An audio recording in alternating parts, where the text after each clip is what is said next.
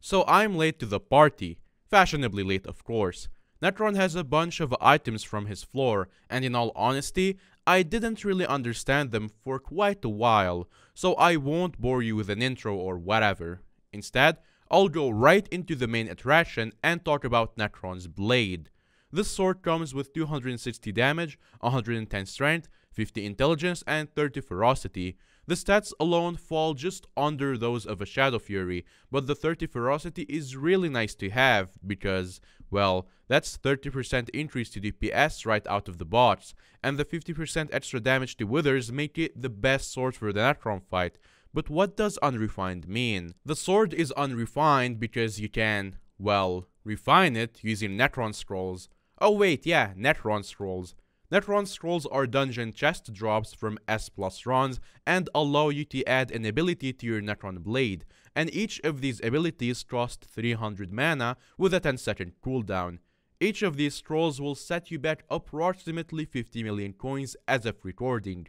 The first scroll is known as Wither Shield.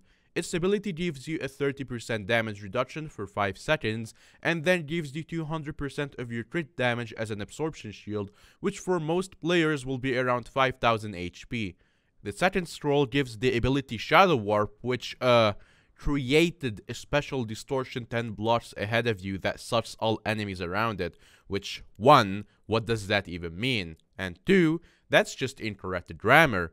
Using this ability again within 5 seconds will detonate the warp and deal damage to all enemies inside it. Aside from being the most ambiguous ability description in the entire game, it sounds like a good method of crowd control. No, what? No. What do you mean you're surprised I'm not going to spend that amount of money to showcase it? It's not like I'm made out of money. The third scroll is called Implosion, which deals 10,000 damage to nearby enemies. I assume this is mage scaling, but even then, it's still quite underwhelming. How do you get a hold of this Necron sword? It requires 24 wither catalysts, which, yeah sure, that's worth like 40 million coins now. And the Necron handle, which is currently going for, um, 197 million coins. It's an S plus drop by the way, so for the low cost of 300 million coins, you can have a sword weaker than a Shadow Fury that tickles all the nearby enemies at the cost of a quarter of your mana. Nice. But the Necron Blade doesn't stop there, because why would it? Precursor relics are dropped by the four giants in the Watcher room and are used to upgrade Necron's items. We'll see them more later, but their first use is upgrading Necron's sword into something more specific. The first of these upgrades transforms the Necron blade into the Valkyrie, boasting slightly better but still not very good damage stats, a 50% damage boost to withers, 60 intelligence, 60 ferocity, and plus 1 damage and strength per catacombs level. First off, 60% ferocity is huge, and if you're using a tiger pet, you're going to be doing way more damage than any sword in the game right now. Screw the Livid Dagger or Gilded Midas. But aside from that, it's a fairly regular sword and you can craft it with 8 Diamante's handles around a Necron blade. The second is a Scylla, which is literally just a Valkyrie but with just less ferocity and more crit chance, kind of a waste. The third is Hyperion, which is just a great sword for mage beam damage, kinda pointless for anything else. And the fourth sword is the Astraea, which is just a Necron blade with a bunch of defense. All of these are small upgrades apart from the Valkyrie, but they're good at getting a sword to be more specific to your class. Next, Wither Gear.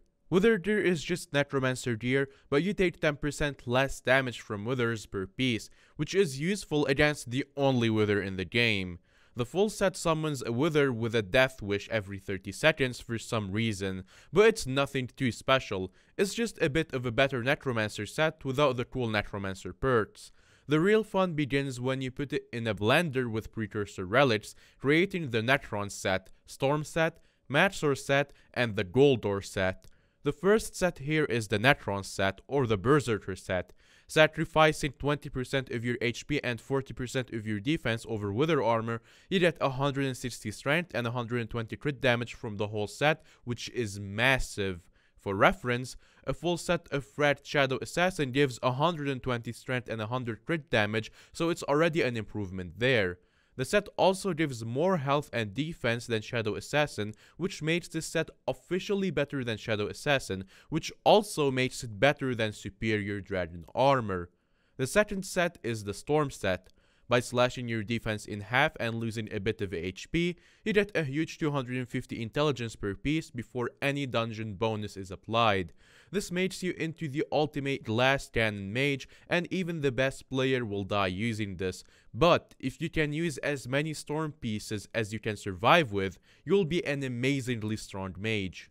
The third is Goldor's set. Just a bit more health and defense than the Wither set, but it's ultimately nothing special. Really good set for healers and tanks. And the final set is Maxor's set, which is like an alternative set to Necron set. It gives the same 120 crit damage for the full set, but instead of strength, you get speed and a little bit less defense. I don't really know who this set is for, because it's really just a worse Necron set, but it's there and it exists for whatever reason. Final things to note, enchants and reforges. One for All was leaked a while ago, but it removes all of your weapon's enchantments and increases your weapon damage by 210%. I don't think it goes past level 1 because that would be too strong. There's also the Soul Eater ultimate enchant that gives you the strength of the last enemy that you killed multiplied by 2 per level. This makes you insanely strong if you're in a high level area or in a dungeon, and it used to be but to be way overpowered, but it's patched and more reasonable now. Wither Blood applies the Withered Reforge to weapons, which gives them a huge amount of strength onto your weapon and nothing more people really seem to like putting one for all on a giant sword with the Withered Reforge. And finally, the Precursor gear which gives you a sort of improved version of Spiked on your armor, and is nicely well rounded, especially if you're missing a bit of crit chance to make 100%. So yeah, lots of new interesting items here. Didn't mention it, but the Wither set alone costs like 300 mil right now.